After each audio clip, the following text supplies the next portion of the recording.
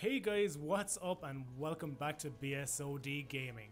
So I wanted to do some more performance testing with Vloodz tool, especially with the 60 FPS and smooth mode turned on along with the FPS unlocker.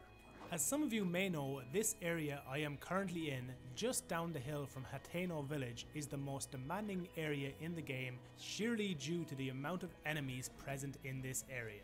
Looking at my FPS numbers and frame time graph, you would not expect a lot.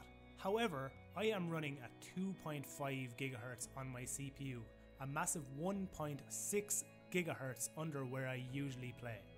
Now, this may not be impressive to a lot of you, but this area pretty much performs exactly like that, even at 4.2 GHz on my actual system.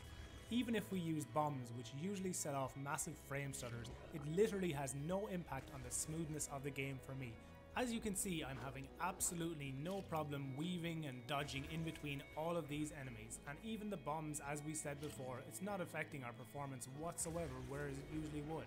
Now, this tool bodes very well for people who have very, very old CPUs, as I said, I have locked my CPU basically to being a 4 core, I'm only using 4 physical cores, I'm not using the hyper threading, and I have it downclocked both on the core and on the cache to 2.5 GHz.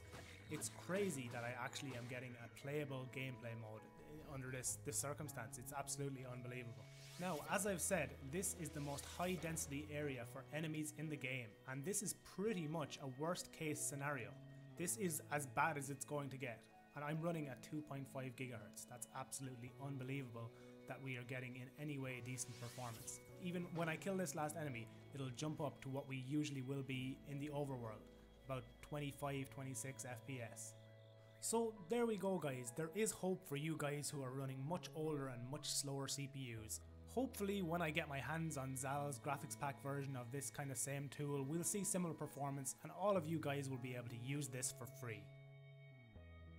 As always guys, cheers for checking out the video. I know this one was a bit more random than my usual stuff.